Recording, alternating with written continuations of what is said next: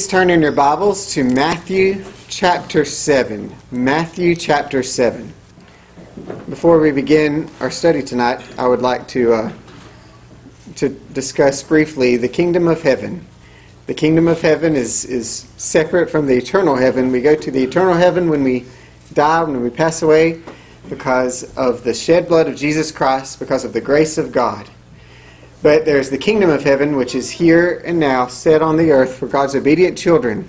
Whenever we obey God, we enter the kingdom of heaven as we live in this earth. The kingdom of heaven is defined in Romans 14:17. It says, The kingdom of God is not meat and drink, but the kingdom of God, here's the definition in the Bible the kingdom of God is righteousness and peace and joy in the Holy Ghost. Righteousness and peace and joy in the Holy Ghost. They were searching for a kingdom. There was an, the old kingdom that was a physical kingdom in Jerusalem. You had the physical city of Jerusalem and you had the physical temple, and they were searching for a new kingdom. And uh, they, they demanded of Jesus, where, where is this kingdom?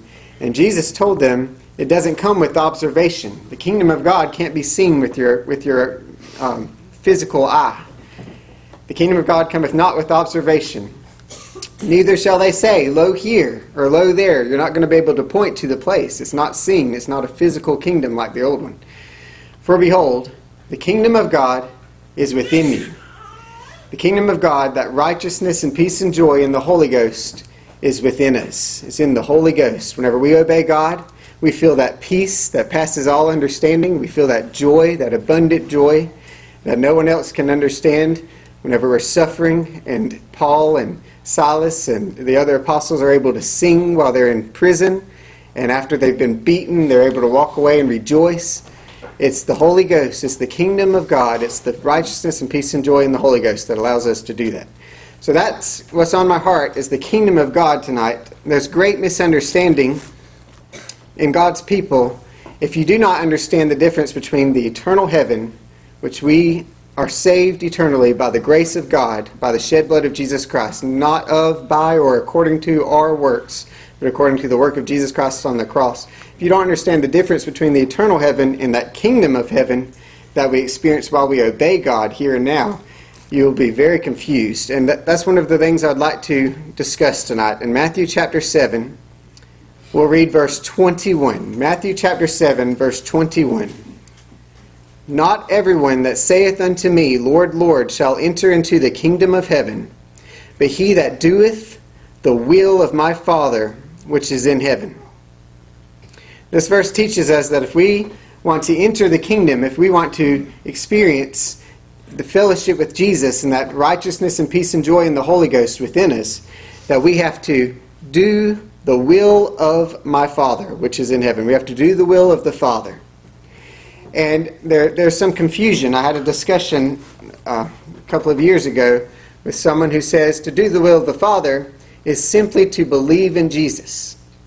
Now, I'd like for you to turn with me to John 6, because it is true that the will of the Father is for us to believe Jesus, to believe in Jesus, to believe on Jesus. We need to believe in our Lord and Savior Jesus. John chapter 6. And this brother in Christ correctly taught to me whenever I asked him, What does it mean to do the will of the Father? And he said, It means to believe in Jesus. And here, this is described here. Uh, John chapter 6. Let's begin in verse 38. Jesus is speaking, and Jesus says, For I came down from heaven not to do mine own will, but the will of him that sent me. And this is the Father's will which hath sent me, that of all which he hath given me I should lose nothing but should raise it up again at the last day. Listen carefully to verse 40. And this is the will of him that sent me, that everyone which seeth the Son and believeth on him may have everlasting life, and I will raise him up at the last day. It is clearly the will of God that whenever we see Jesus, that we believe on Jesus. But um, the brother in Christ that I was speaking to, this is all that he applied doing the will of the Father to is just believing in Jesus, which is a great work that we need to be doing. But the Bible discusses a lot more that we need to do if we're going to obey the command of doing the will of the Father so that we can enter into the kingdom of heaven right here and now and have that righteousness, peace, and joy in the Holy Ghost. The Bible tells us a lot more, many works that we need to be doing to enter the kingdom of heaven.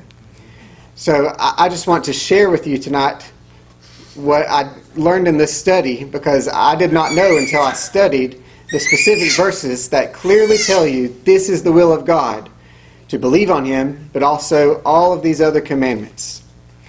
If you will, let's, let's, let's begin the rest of the study in 1 Thessalonians. We'll start in 1 Thessalonians chapter 4. Turn with me to 1 Thessalonians chapter 4. While studying this, I, I discovered that uh, many times that phrase of doing the will of the Father is embedded right in the middle of a long list of commands. It'll be about 20 verses 10 to 20 verses of command after command that God's Word gives to His people for them to obey. Uh, and I'd like to share that with you. 1 Thessalonians chapter 4. Let's begin in verse 1. 1 Thessalonians chapter 4. Furthermore, then, we beseech you, brethren, and exhort you by the Lord Jesus, that as ye have received of us how ye ought to walk and to please God, so ye would abound more and more.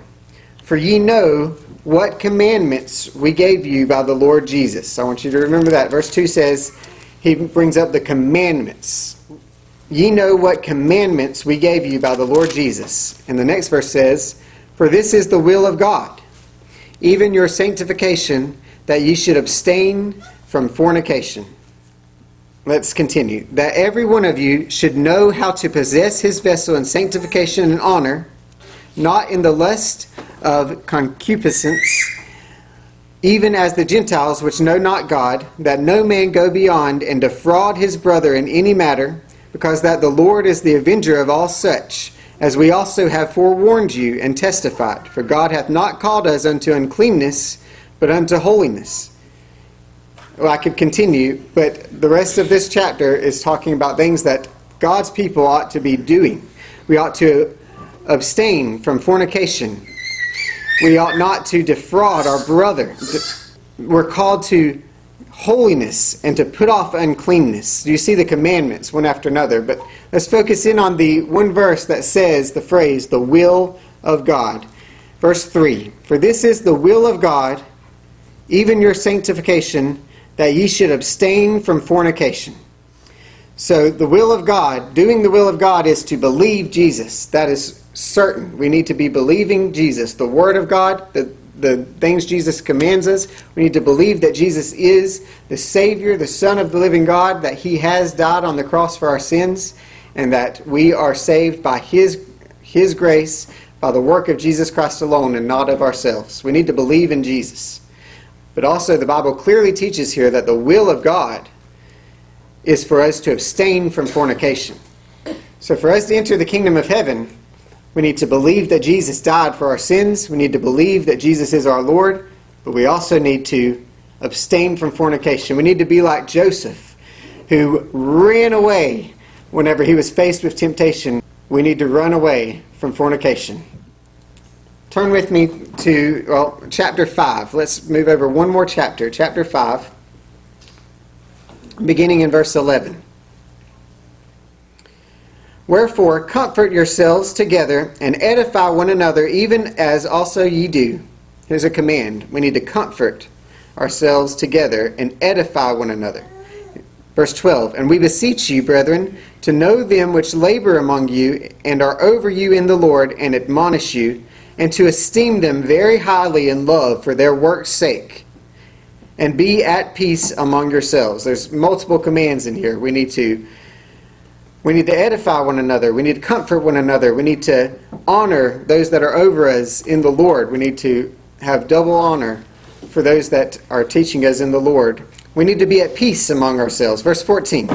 Now we exhort you, brethren, warn them that are unruly, comfort the feeble minded Support the weak. Be patient toward all men. Do you see the commandments one after another? A command to God's people. Verse 15 See that none render evil for evil unto any man, but ever follow that which is good, both among yourselves and to all men.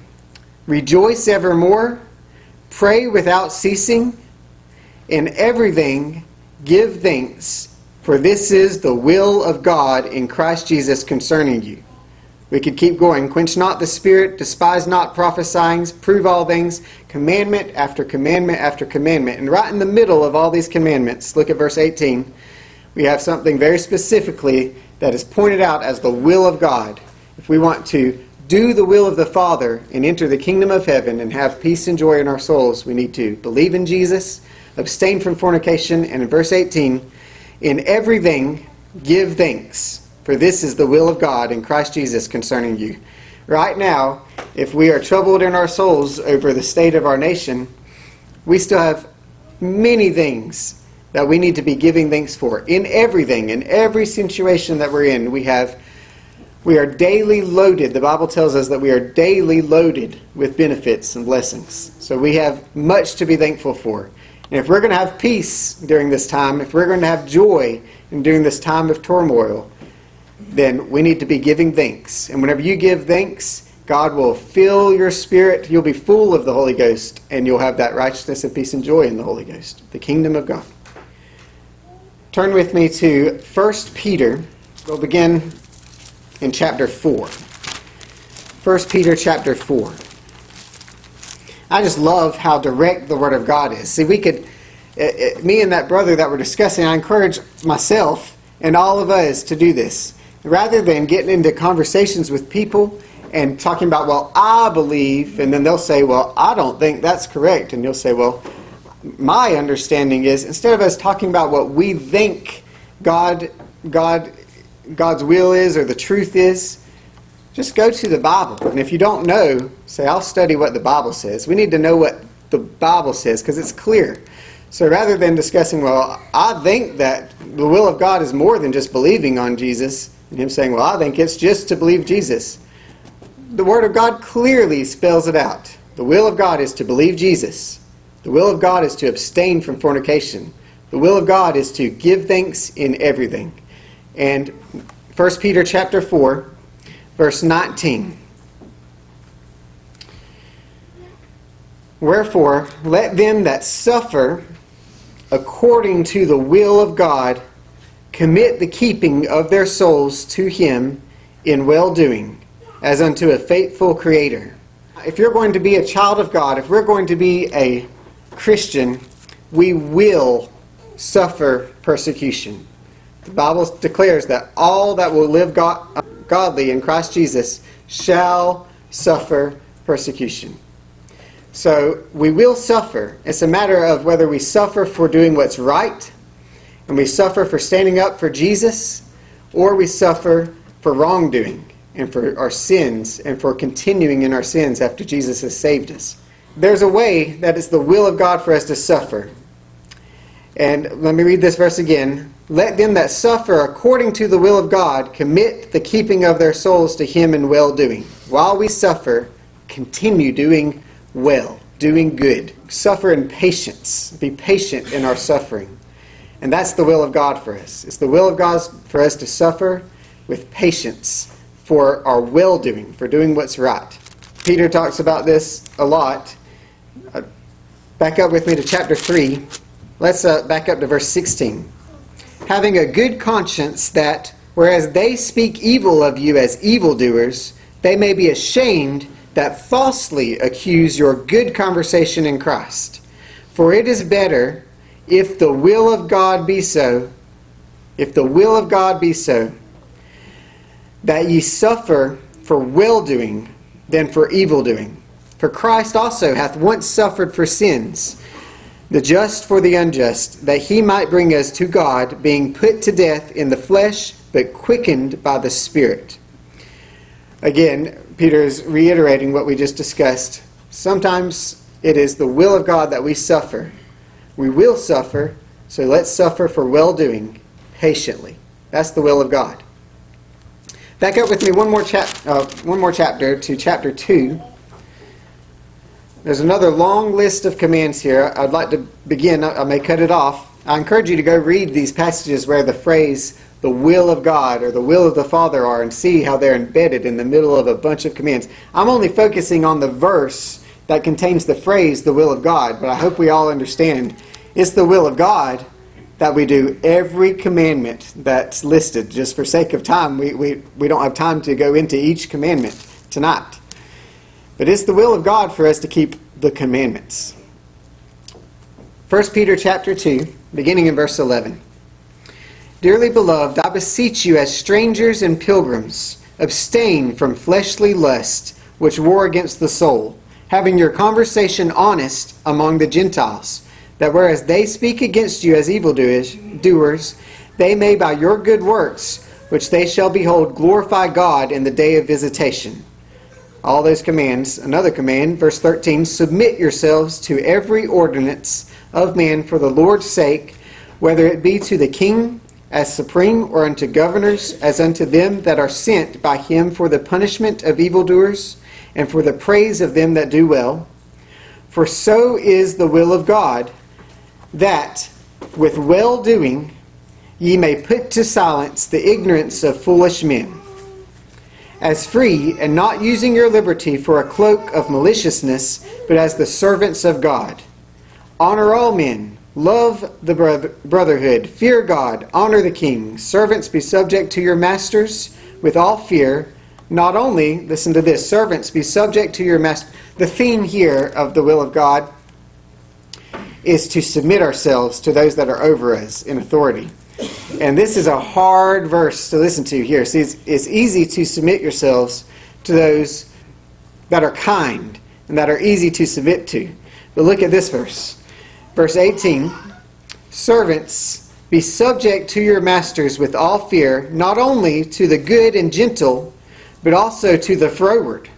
For this is thankworthy if a man for conscience toward God endure grief, suffering wrongfully. Go back with me to verse 15. For so is the will of God that with well doing ye may put to silence the ignorance of foolish men. This verse is telling you that the will of God is to do well. To do well, to do good. That covers a lot. He specifically talked about submitting ourselves one to another, submitting to those that are over us. But the verse just tells you that it's the will of God for you to do well. By well doing, you'll put to silence those that have something to say against you. By well doing, you'll stop the mouths of, of foolish, unlearned people just by well doing, by doing what's right.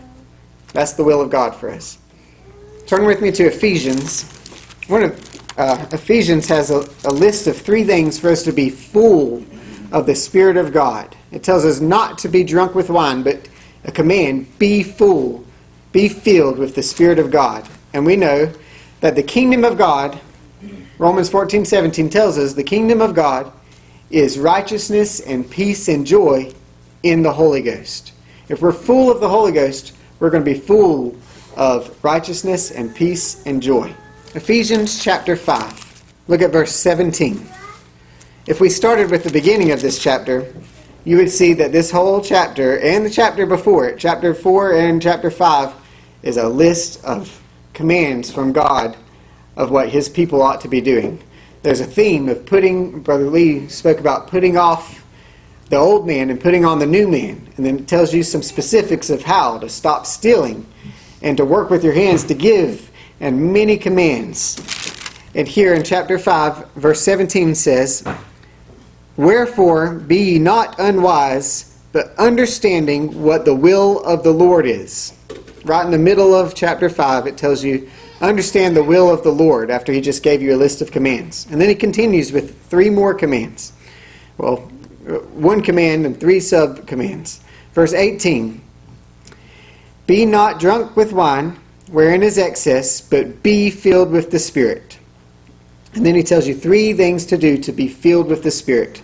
That's a semicolon there, it's not a period. So the next three verses are going to tell you how to be filled with the Spirit, to have that power that comes from God, that righteousness and peace and joy in the Holy Ghost in the kingdom of heaven. Verse 19 speaking to yourselves in psalms and hymns and spiritual songs, singing and making melody in your heart to the Lord. It's the will of God that we sing. Whenever we're despondent, if you're if you're struggling right now with um, with anxiety or any kind of fear over the election or any of the other COVID or any of these other problems that we have, sing. Sing to God, praise God, and He'll fill you with His Spirit. And that peace that passes understanding and that abundant joy will lift you right out of your depression. That's the will of God. Do the will of the Father and sing. Verse 20 Giving thanks always for all things unto God and the Father in the name of our Lord Jesus Christ. We've mentioned that before. In everything, give thanks. This is the will of God for you. Give thanks in everything. Look at verse 21. This goes back to what Peter had spoke about. Verse 21 Submitting yourselves one to another in the fear of God. And then he tells you three ways that we need to be submitting. That's not inclusive, all inclusive, but there's three ways that we need to submit ourselves one to another that God commands us here in chapter 5 and chapter 6. Verse 22 says, Wives, submit yourselves unto your own husbands as unto the Lord. There's a command for the husbands too to love your wives as Christ has loved us. Submit. Wives, submit to your husbands Husbands, love your wives. Come down to chapter 6, verse 1. Children, obey your parents in the Lord, for this is right. Submit. Children, submit to your parents. And he has a command for the parents, for the father. Verse 4 And ye fathers, provoke not your children to wrath, but bring them up in the nurture and admonition of the Lord. And then one more way that he describes, verse 5 Servants, be obedient to them that are your masters according to the flesh, with fear and trembling, in singleness of heart, as unto Christ. Workers, submit to your bosses. And then he has a command for, for the masters, for the bosses. Verse 9 And ye masters, do the same things unto them, forbearing, threatening knowing that your master also your your master also is in heaven. Neither is there respect of persons with him. I believe the word of god is clear that to do the will of the father means to keep all the commandments of the bible. I, I believe the word of god has made that clear to us tonight and you can study it out more and it's even more clear all the commands that god has for his people we ought to be doing if we are to enter the kingdom of heaven and to have close fellowship with Jesus and a peace during a time of turmoil, the Bible tells us through much tribulation we enter the kingdom of heaven. You're going to go through hard times, and if you're going to have the peace that passes understanding and the abundant joy and a close fellowship with our Lord and Savior, to know Him on an intimate level in the kingdom of heaven while we live, we have to do the commandments of God we specifically talked about several. We talked about believing on Jesus. Believe that he, you're not going to have peace if you don't know that Jesus died on the cross and completed the work. He said, It is finished. Believe Jesus that He has saved you from your sins. Abstain from fornication. In everything, give thanks. Suffer for well doing. Submit yourselves one to another. Sing and make melody in your heart we need to do the will of the Father by keeping His commandments. But sometimes I may know what the Bible says and what the commandments are, and I might fool myself and tell, tell God, I'm going to keep your word, I'm going to study your word and figure out what your commands are, and I'm going to obey you, God. And then it stops right there, and I don't follow through. I don't actually visit the fatherless and the widows. I don't actually do good and I just think about doing good and I tell God, I'm going to do that. God, I'm going to do. I'm going to serve you better today than I've ever served you before. I can say that in the morning and then at night time I think back over my day and I and I've failed in many ways of keeping the commandments of God. So uh, I'd like for us to consider and meditate on this parable, Matthew 21, beginning in verse 28. Jesus is speaking, But what think ye? a certain man had two sons, and he came to the first son, the first, and said, Son, go work today in my vineyard. You see the command? Son, go work today in my vineyard. He answered, that son answered and said, I will not. He told him, I'm not going to do that, Father. I'm not going to go work in your vineyard. But afterward, he repented and he went. So he told, he didn't, he, he said, I'm not going to do that. But then he repented. He, he had a change and went and worked in the vineyard. Now let's look at the second son. Verse 30. And he came to the second and said likewise. He told him to go work in the vineyard. And he answered, that son answered and said, I go, sir. He told him, I'm, I will do that right now. I'm on my way. I'm going to go work in the vineyard. And went not. He did not do the command. Verse 31 Whether of them, Jesus is proposing the question, whether of them, which of them twain, did the will of his Father? Which one actually did the will of the Father? Which one is going to be in the kingdom of heaven? The one that said, Lord, Lord? You see, the, the first verse we started with, Matthew 7 21, said, Not everyone that saith unto me, Lord, Lord, shall enter the kingdom of heaven.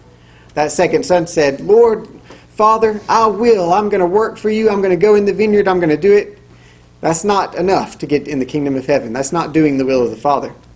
The one that repented, realized the error of his way, and actually went and did the work of keeping the commands of his master is the one that did the will of the Father. Pray God will help us and will forgive us and have mercy. He has mercy on us every day. Pray that He will help us to consider all the commands of God and that we will do the will of God. And I pray that He will help us to also remember and rejoice that we'll be in the eternal heaven and we'll believe in Him that we'll be in the eternal heaven because of the work that Jesus did on the cross. That's a great gift. See, if, if, the, if the only way to get to eternal heaven was to do the will of the Father, I would be miserable because I'm going to fail. We are going to fail. But we, by the grace of God, because He has saved us eternally, He will give us the ability, He will give us the strength we need to get back up whenever we fall. We'll get back up and we'll continue and strive to do the will of the Father again. And then He will bless us and come and sup with us in the kingdom of heaven. And we will have righteousness and peace and joy in the Holy Ghost. That's my prayer.